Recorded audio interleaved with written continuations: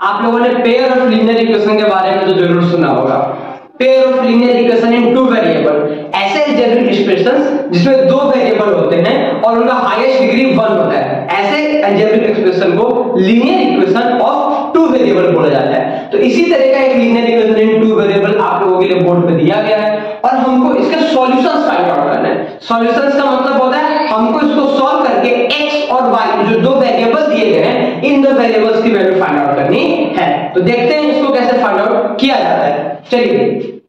अच्छा elimination method का इस्तेमाल करने के लिए सबसे फ़र्स्ट कंडीशन ये होती है कि आपको जो भी जो टर्म्स दिए गए चाहे वो x वाली टर्म हो, चाहे वो y वाली टर्म हो, इन दोनों टर्म में से कोई भी एक टर्म के कोफिशिएंट को इक्वल होना चाहिए। और अगर इक्वल नहीं है तो आपको उसको इक्वल करना पड़ेगा। देखिए किस तरह से हमारा यहाँ पे x का कोफिशिएंट 3 है, इसमें x की कोफिशिएंट 9 है 9 है, इधर y का कोफिशिएंट 5 है, इधर y का कोफिशिएंट 2 है। तो मैं काम करता हूँ, x के कोफिशिएंट्स को इक्वल कर लेते हैं। तो उसके लिए क्या करना पड़ेगा?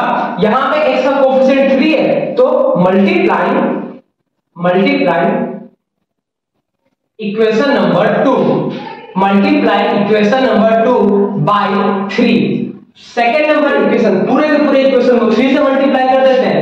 And equation number one by nine. दोनों के कोफिशिएंट को इंटरचेंज कर देते हैं। दोनों के कोफिशिएंट्स को इंटरचेंज करके हम लोग उसको मल्टीप्लाई कर लेते हैं। इन शॉर्ट हमको इसमें नाइन का मल्टीप्लाई करना है और इसमें थ्री का मल्टीप्लाई करना है। तो कर देते हैं। 9 3 या 27x माइनस 9 5 जा। 45 y इक्वल टू 9 4 जा। 36 यहाँ पे 3 9 जा 27x 3 2 जा 6y इक्वल टू 21 अब आप लोग के पास यहाँ पे दो नए इक्वेशन आ गए। अच्छा इन दोनों नए इक्वेशन में हमारा x वाला जो टर्म है, इसके कोफिशिएंट्स तो इक्वल हो गए। लेकिन क्या ये सिंबल्स अपोजिट है? नहीं है। तो सिंबल अपोजिट होने चाहिए, और अगर सिंबल अपोजिट नहीं है तो उसको करना पड़ेगा। यहाँ पे लिख लेते हैं फ्रॉम सब्ट्रैक्टिंग फ्रॉम सब्ट्रैक्टिंग हम लोग इक्वेशन नंबर थ्री को इक्वेशन नंबर थ्री में से इक्वेशन नंबर फोर को सब्ट्रैक्ट कर लेते हैं। From subtracting equation number four equation number four from three three में से सब्ट्रैक्ट करने पर आपको यहाँ पे इसके सिंबल को चेंज कर देती है प्लस है तो माइनस माइनस है तो प्लस और प्लस है तो माइनस ये तो कैंसिल आउट हो गया।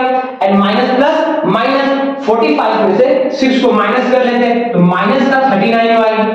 इक्वल टू इसको माइनस कर लेते हैं, इधर आपका बच जाएगा 15 therefore, y equal to minus 15 upon 39 इसको 3 से कट कर देते हैं तो 3 5 जा 13 जा तो यहाँ पे हमारी y की वैल्यू जो निकल के आई, वो आ गई माइनस फाइव अपॉन थर्टीन अब इस y की वैल्यू को चाहे आप इक्वेशन 1 में रख लीजिए, चाहे आप इक्वेशन 2 में रख लीजिए, आपका x का वैल्यू निकल जाएगा। देखिए मैं इसको यहाँ पे सॉल्व कर लेता हूँ। From equation 1 from equation one equation one हमारे पास गिवन है three x minus five y equal to four y की value minus five upon thirty मतलब three x minus five multiply by minus five upon thirteen equal to four मतलब three x minus minus plus twenty five upon thirteen equal to four therefore three x equal to four उस side चला जाएगा? तो minus हो जाएगा। इसको पहले minus कर लेते हैं। 3x equal to 52 minus 25 upon 30